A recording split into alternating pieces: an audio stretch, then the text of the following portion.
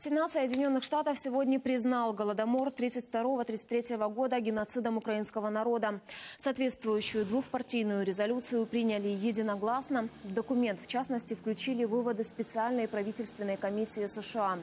Осудили в резолюции также нарушение прав украинцев советским правительством.